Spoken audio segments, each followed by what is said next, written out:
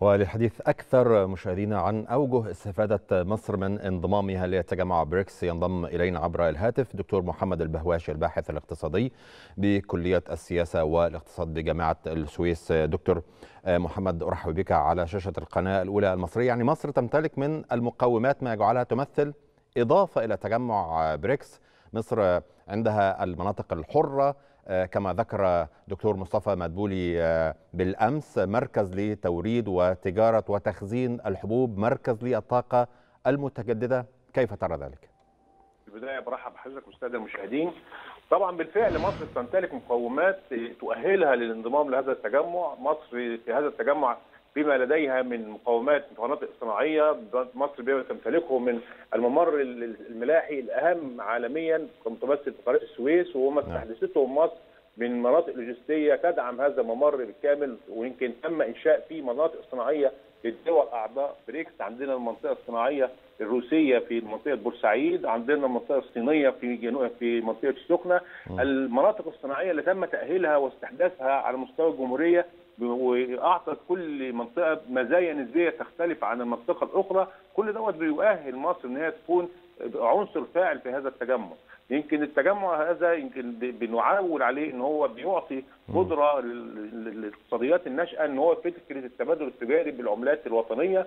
ده فكرة في حد ذاتها بيخفف الضغط على الميزان التجاري وعلى العملة الصعبة اللي إحنا يمكن في مشكلة ماسة بيمر بيها الدول الناشئة على مستوى العالم نتيجة السياسات النقديه اللي اتخذتها البنوك البنك الفدرالي الأمريكي لعلاج معدل التضخم العالمي ويمكن شفنا آثار سلبية شفنا ارتفاع في معدل التضخم وشفنا إن قوة الدولار وضعف في اسعار العملات الناشئة. هذا الموضوع تحديدا دكتور محمد يعني كان مثار حديث الشارع تحدث هنا تحديدا عما ذكرته فيما له صلة بالتعامل بالعملات المحلية للدول في سبيل للتوصل أو الوصول إلى العملة الموحدة عملة بريكس الموحدة يعني.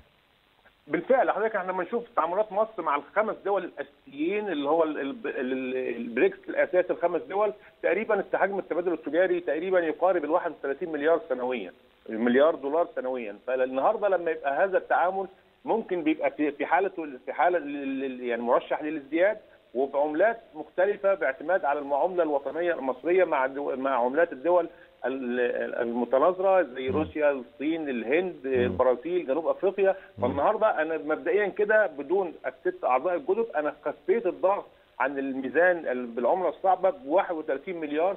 مبدئيا ده ده نقطة من أول السطر. إحنا كده في, طريقنا إلى ترشيد الاستيراد أو توجيه الاستيراد للدول الأعضاء بشكل أكثر للاستفادة من هذه الميزة اللي بتعطي قدرة للعملات الوطنية وبتعطي فرصة للخروج من الأزمة الدولارية وبتعطي قدرة لتسليط الضوء على الفرص الاستثمارية الموجودة بالفعل في الداخل المصري، مصر اشتغلت على نفسها في خلال تسع سنين. النهارده بنقول عندنا فرص استثمارية في ظل حتى تراجع الاقتصاد العالمي. ما زلنا بنسلط الضوء على ما نمتلكه من بنية تحتية تم استحداثها من فرص استثمارية تم يعني بقول مصر كانت في ثورة إصلاحية بنشوف النهارده ثمارها في شكل مشروعات مشروعات طاقة. مصر النهارده أصبحت بالفعل مركز إقليمي لتبادل الطاقة ويمكن هي النقطة الوحيدة في في المنطقة بالكامل اللي بتنتج أو أنتجت بالفعل هيدروجين أخضر. ويمكن تم تسليط الضوء على أول مشروع استثماري بينتج فعلا في قمة المناخ في نهاية العام الماضي كمشروع استثماري. اعتقد النهارده أغلب الاستثمارات الأجنبية اللي بتنتهج الاقتصاد الأخضر وبتسعى إلى العنصر الهيدروجين الأخضر القبله الوحيدة الموجودة في المنطقة اللي بتمتلك البنية الأساسية وبتمتلك القدرات ان هي لتصنيع الهيدروجين الأخضر هي مصر. فالنهاردة الفرص متاحة للاستثمارات وجذب الاستثمارات ويمكن إحنا الدولة عندنا وكاله سياسية بتوجه إلى جذب الاستثمارات يمكن ليس لغرض رؤوس أموال فقط نعم. لكن بهدف جذب تكنولوجيا وتوطينها في الداخل نعم. المصري وده اللي إحنا بنشهده النهارده نعم. في إيجابيات على أرض الواقع نعم أنا بشكرك شكرا جزيلا دكتور محمد البهواشي الباحث الاقتصادي بكلية السياسة والاقتصاد بجامعة السويس بشكرك شكرا جزيلا